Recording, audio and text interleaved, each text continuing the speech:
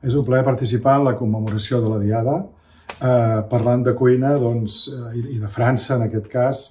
Doncs és cert que hi ha hagut sempre una connexió entre la cuina catalana i la cuina francesa.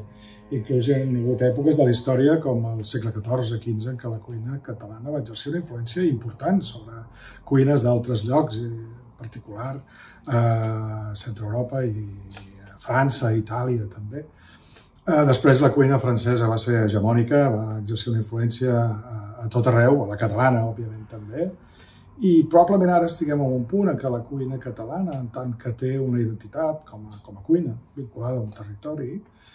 eh, té una identitat pròpia, però sobretot ha desenvolupat una vessant d'evolució i de compromís amb la creativitat i de generació de conceptes i de tècniques que probablement en aquest sentit també ha influenciat ara a, a altres cuines i probablement també a la francesa.